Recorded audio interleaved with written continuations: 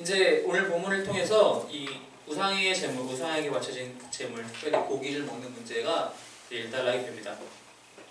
우리가 지난까지 지난 지난 주까지 같이 말씀을 나누면서 결국 사도 바울이 이 문제를 통해서 하고 싶은 이야기는 고기를 먹느냐 안 먹느냐의 문제가 아니라 내가 한 영혼이 하나님께 나아가는 것을 내가 방해하느냐 그렇지 않느냐 혹은 도와주느냐의 문제 그리고 또 한 가지는 우리에게 주어진 자유 우리가 그리스도인이 됨으로써 하나님께서 우리에게 주신 자유가 있는데 그 자유는 내가 내 뜻대로 사는 자유를 얘기하는 것이 아니고 내가 하나님의 목적을 위해서 즉 모든 사람을 구원코자 하시는 하나님의 그 목적을 위해서 우리의 자유를 스스로 제한할 수 있는 자유를 더 강조해서 얘기한다는 것이죠. 물론 우리는 그리스도 안에서 참 자유를 누리지만 그 참 자유 안에는 절대로 방종은 있을 수 없으며 우리가 하나님의 뜻 안에서 우리가 우리의 죄에서부터 자유하고 또 우리를 어, 우리 스스로의 권리를 제한함으로써 다른 사람을 이웃을 돕는 섬기는 일에 또 자유할 수 있는 그런 자유에 대해서 얘기를 계속적으로 해오면서 오늘 본문을 통해서 이 결론을 이제 다시 한번 정리를 하면서 얘기를 합니다. 그래서 23절 말씀에 모든 것이 가하나 모든 것이 유익한 것은 아니요 모든 것이 가하나 모든 것이 덕을 세우는 것은 아니니 이게 우리가 지난주에서도 지난주 이야기의 어떤 결론이 23절에서 다시 한번 얘기가 된다고 했는데 우리가 그리스도인으로서 자유를 누리, 누리고 그래서 모든 것을 할 수 있지만 그 모든 것을 할 수 있다고 해서 그것이 유익한 것도 아니고 그렇다고 해서 이것이 다 덕이 되는 게 아니라고 그랬어요. 우리가 자유롭게 사는 생활 할 수 있죠. 우리가 할 거 다 끝냈으면은 뭐 주, 주, 토요일 날 가서 영화 볼 수도 있어요. 토요일 날 가서 친구들이랑 만날 수도 있어요. 하지만 그게 덕이 되느냐라고 생각했을 때는 또 다른 문제라는 얘기를 합니다. 내가 할 수 있는 것과 내가 그것을 행함으로써 덕이 되는 거야. 여기서 말하는 덕은 나 개인의 덕을 먼저 생각하는 것이 아니라 사도 바울은 사도, 사도 바울의 포커스는 항상 하나님의 공동체. 그래서 결국 이 32절에 한 번 더 언급을 하지만 하나님의 교회나 거치는 자가 되지 말고 즉 이게 하나님의 공동체에 덕이 되느냐 하나님께 덕이 되느냐 하나님의 믿음의 공동체 이 교회에 덕이 되느냐 그리고 나에게 덕이 되느냐를 다 따져본다는 얘기죠. 하지만 우리가 모든 것에 자유롭다 해서 다 덕이 되는 아, 것이 아니라는 것을 사도 바울이 다시 얘기를 하면서 어떻게 그러면은 행동해야 되느냐 24절 누구든지 자기의 유익을 구하지 말고 남의 유익을 구하라 라는 겁니다. 여기서 말하는 유익은 무엇이냐? 경제적인 이득 이런 거 얘기하는 게 아니에요. 한 사람이 하나님 앞에 더욱더 다가가기 위한, 다가갈 수 있는 그 유익을 얘기한다고 합니다. 하나님과 더 깊이 만날 수 있는, 교제할 수 있는 그 유익을 우리가 침해해서 안 된다는 겁니다. 나의 행동으로 말미암아 내 옆사람이 하나님과 더 깊은 교제를 누릴 수 있는 유익을 침해하면 그것을 방해하고 가로막으면 안 된다는 거예요. 그러면서 이제 사도 바울은 우리가 처음에도 얘기했지만 양쪽의 이야기를 사실 다 들어주는 셈이에요. 어떻게 보면. 어떻게 보면 양쪽의 이야기를 다 반대하는 것처럼 보이지만 양쪽의 이야기를 다 들어주기도 합니다. 어떻게 들어주느냐? 25절과 27절 얘기. 우리 시장에서 파는 것은 양심을 위하여 묵지 말고 먹으라. 27절에서도 불신자 중 누가 너희를 청할 때에 너희가 가고자 하거든 너희 앞에 차려놓은 것은 무엇이든지 양심을 위하여 묻지 말고 먹으라. 우리가 고기 먹는 상황이 크게 두 가지라고 제가 말씀드렸어요. 내가 시장 가서 고기를 직접 사오는 방식과 내 옆집에서 고기가 마침 생겼으니 같이 파티를 할 건데 같이 먹자 하고 불렀을 때 얘기예요. 하나는 내 개인의 생활이고 하나는 사회생활이죠. 고기가 내 앞에 있으면 그 내가 고기를 먹고 싶으면 시장에 가서 고기를 발견했으면 이거 혹시 제우스 신전에 나왔나요? 묻지 말라는 겁니다. 뭘 굳이 따져 묻느냐는 거예요. 먹고 싶으면 먹으면 된다. 그러니까 즉 고기를 먹어도 좋다라는 즉 믿음이 강한 측면에 있는 사람들에 대해서 사도 바울이 한쪽 손을 들어줘요. 그 이유를 26절에 뭐라고 얘기하느냐? 이는 땅과 거기 충만한 것이 다 주의 것입니다. 다 주님께 속하신 속한 것인데 그걸 따져봐야 소용없다. 너희가 돼지를 먹든 왜냐하면 돼지는 이스라엘 사람들에게 유대인들에게 이것은 부정한 음식이잖아요. 너희가 무엇을 먹든 이것이 설령 내가 알지는 못하더라도 우상 이방의 신전에서 드려, 드려진 제물로 바쳐진 고기를 할지라도 너희가 그걸 굳이 따져 묻지 말고 알려고 하지 말고 먹고 싶으면 먹어라.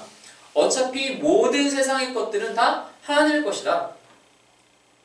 그렇게 한쪽 편을 들어주, 들어주면서 동시에 믿음이 약한 사람의 이야기도 그 소- 그들의 손들도 들어줍니다. 28절에 누가 너희에게 이것이 재물이라 말하거든 알게 한 자와 그 양심을 위하여 먹지 말라. 나는 알고 싶은 생각이 전혀 없었는데 누가 와서 얘기를 귓속말로 살짝 해, 살짝 해주는 거예요. 이거 사실은 어디서 나온 거야? 비너스 신조에서 나온 거야. 얘기를 하면 그, 이, 그 이야기를 한 사람도 생각을 하고 내가 먹는 것을 지켜볼 내 주변 사람들도 생각을 해서 왜냐면 나만 아는, 아는 건 아닐 테니까 그것을 생각을 해서 먹지 말라는 거예요. 먹고 싶은데 먹지 말라는 겁니다. 왜? 그렇게 하면 내가 만약 먹게 되면 나에게 얘기해 준 사람이 신앙이 있든 없든 잘못 생각할 수 있다라는 거예요. 내가 먹으로 알미하면서 내 주변에 있는 사람들이 그걸 나를 지켜봄으로써 그 사람들의 신앙이 있든 없든 잘못 생각할 수 있다는 거예요. 하나님 믿어도 괜찮네. 저렇게 해도 되나 보네. 같이 뭐 일주일에 한 번은 교회 가고 한 번은 저희 제우스 신장 가도 괜찮나 보네. 라고 착각할 소지가 있으면 하지 말라는 거예요. 그쪽 편에서 이야기도 들어주는 것이죠. 그러면서 29절에 뭐라고 얘기하냐면 내가 말한 양심은 너희의 것이 아니요. 즉 내 먹는 나의 양심을 얘기하는 것이 아니라 다른 사람의 양심을 얘기하는 거. 다른 사람의 마음의 거침이 될까봐 얘기한다는 거예요. 어찌하여 내 자유가 남의 양심을 말미암아 판단을 받으리요. 물론 사도 바울은 이 원론적인 얘기를 합니다. 즉 나의 행동의 자유와 생각의 자유는 고기를 먹는 자유는 남의 양심 때문에 판단받진 않지만 판단받진 않지만 그러나 내가 이렇게 함으로써 그 사람에게 상처를 준다면 그 사람을 시험 들게 한다면 나는 안 하겠다. 언제든지 안 할 준비가 되어 있다 라고 사도 바울이 얘기를 하고 있습니다. 그러면서 30절에 내가 감사함으로 참여하면 어찌하여 내가 감사하는 것에 대해서 내가 비방을 받겠느냐? 즉 모든 것이 하나님께 속하였는데 나의 내 앞에 주어진 고기가 고기를 내가 먹을 때 하나님께 감사함으로 먹으면 그게 어떻게 남들한테 비판받을 일이냐 그렇지 않다.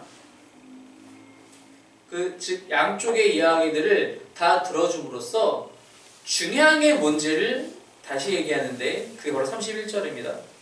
함께 읽겠습니다. 시작. 그런즉 너희가 먹든지 마시든지 무엇을 하든지 다 하나님의 영광을 위하여 하라. 식사 기도 할 때 많이 나오는 멘트 중에 한 구절 중에 하나인데 이걸 조금 요 본문과 맥락에 맞게 다시 읽자면 이렇게 읽는 게 더 나을 것 같아요.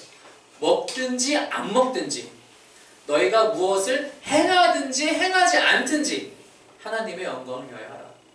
고기를 먹는 것 좋아. 고기는 어차피 하나님께 속하신 것이고 하나님이 우리에게 주신 선물이니까 감사함으로 먹으면 돼. 안 먹겠다고? 좋아. 너희가 안 먹음으로써 너희 주변의 사람들이 하나님을 의심하지 않고 시험 들지 않고 하나님께 더욱더 나아갈 수 있다면 좋아. 그렇게 하면 돼. 그것도 하나님의 영광을 위한 거야.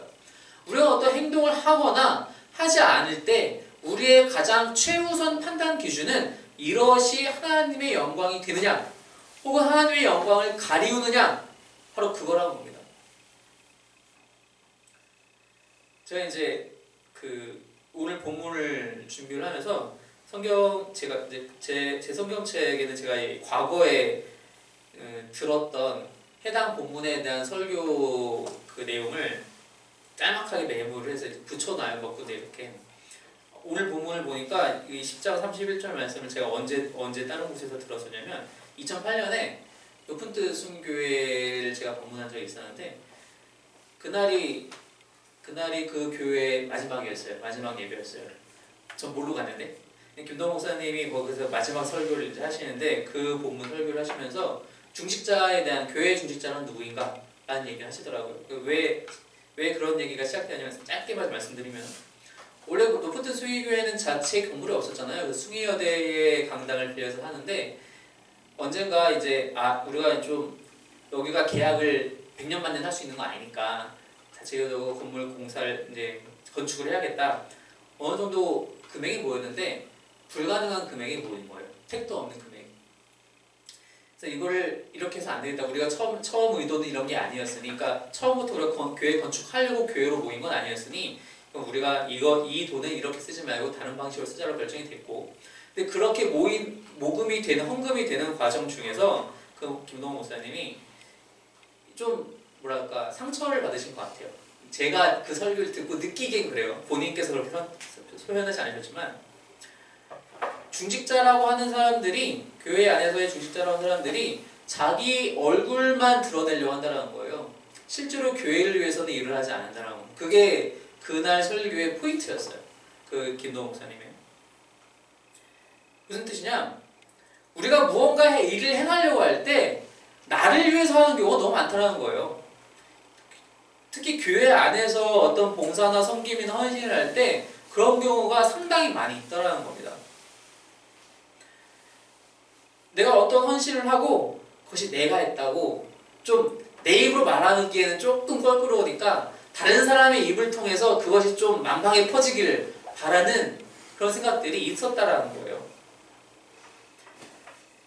그런 것들은 잘하면서 그러니까 목사님의 그 당시의 목사님의 포인트는 그런 것들은 잘하면서 정말 교회를 위한 일에는 당장 계약이 만료가 돼서 우리는 다음 주부터 나가야 되는데 당장 교회를 위한 일에는 아무도 신경 쓰지 않더라 라고 얘기를 하는 거예요. 자기 얼굴이 팔리는 일에는 여기저기 다 참석하는데 그렇지 않은 일에는 그렇게 하지 않더라. 교회 안에서 사실 그게 제일 유독 드러나 보이죠. 왜냐 교회에서 하는 일들 우리가 하나님의 일들로 다 이해하고 인식하고 행하기 때문에. 근데 이건 교회에서뿐만이 아니라 우리가 교회 밖에서 일상생활, 우리의 일상생활에서도 언제든지 드러날 수 있는 일이라는 거예요. 제가 지난주에도 말씀드렸지만 우리가 갖고 있는 거의 모든 직업은 범죄가 아닌 이상 하나님을 섬기고 이웃을 섬길 수 있는 일들이에요. 우리가 그래요. 우리가 하는 일들이 다 그래요. 우리가 일을 할 때 하나님의 영광을 위해서 해야 되는데 그렇지 못할 때가 많이 있다는 거예요. 나를 위해서 하고 내가 좀 더 이 분야에서 잘 나야겠다. 내가 이름 좀 한번 날려봐야 돼. 내가 이 분야에 발을 들여 드렸는데 그래서 내 이름 석자 한번 한번 이렇게 새겨놓고 나와야지 않겠냐? 혹은 내 돈을 이만큼 벌어야 되지 않겠냐? 이런 이런 생각들이 우리 안에 가득하다라는 거예요. 사도 바울은 무엇을 하든지 혹은 하지 않든지 다 하나님의 영광을 위해서 하라는 겁니다. 나의 자유와 나의 유익과 나의 권리를 위해서 하는 것이 아니라 하나님의 영광을 위해서 하라는 겁니다. 그러면서 32절에 또 한번 유대인에게나 헬라인에게나 하나님의 교회나 거치는 자가 되지 말고 여기서 말하는 유대인, 헬라인, 하나님의 교회 이렇게 사도 바울이 세 부류를 언급하는, 언급하는 것은 사실은 온 세계인을 다 언급하는 거예요. 여기서 헬라인이라고 했지만 헬라인이라는 단어 자체가 헬라인만 얘기하는 게 아니라 이방인을 다 얘기하는 거거든요. 원래 원래 단어가 즉 이스라엘 혈통적인 이스라엘인 혈통적으로 이스라엘이 아닌 사람들 그리고 그리스도를 따르는 하나님의 교회 즉 모든 전 세상 사람들에게 거치는 자가 되지 말라는 겁니다. 즉 그들이 하나님께 나아가는 데 있어서 장애물이나 걸림돌이 되면 안 된다는 거예요. 우리의 행동이. 33절 나와 같이 모든 일에 모든 사람을 기쁘게 하여 자신의 유익을 구하지 아니하고 많은 사람의 유익을 구하여 그들로 구원을 받게 하라. 나의 유익과 나의 자유와 나의 권리가 아니라 다른 사람의 유익.